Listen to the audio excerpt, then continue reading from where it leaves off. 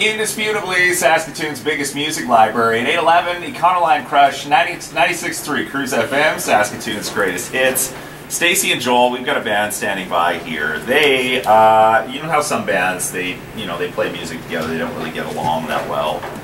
They have their own buses. They kind of do their separate things that were on stage. These guys, they lived together twice. First time was when they were just getting started because they couldn't afford to pay for rent, so they just they lived together. The second time was they just they moved to LA. They had lots of money. They rented a huge house, Fun. and uh, yeah, they, uh, they they like each other. So we've got a song from them standing by.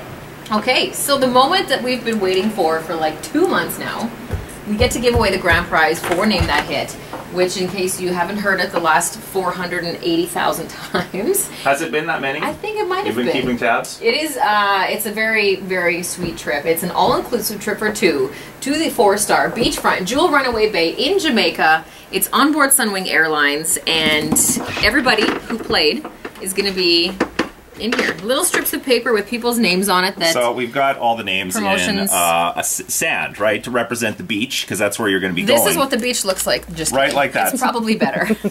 Since you're not in the studio with us right now, we'll have to describe the setup. We have sand from uh, Harris, Saskatchewan. Yep. We imported it hand. all the way from Harris, Saskatchewan, because that's the only place we can get sand this time of year. Yeah. We thought it was from a sandbag, but no, it's It's exotic actually exotic um, brown sand, sand. from here. It's not the white sand you're going to see in Jamaica. It's brown No. sand, and we we put it in a cardboard box. But instead of just putting it in the cardboard box, there's a bag in there too. So Yeah. we put that together, cardboard bag box with a black garbage bag and sand inside it. What does Yeah. that look like? Litter box. A cat litter box. totally. But it's better than a litter box because you don't find free trips to Jamaica No. in litter boxes. yes.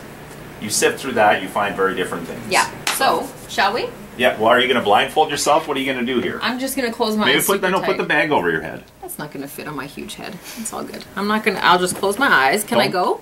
I get, yeah. Yeah. Do it. Are you ready? Should I do a drum roll? Well, put, pick one out and I'll get a drum roll ready to go. here. Okay. I'm gonna do some We can really build some serious mushing. suspense.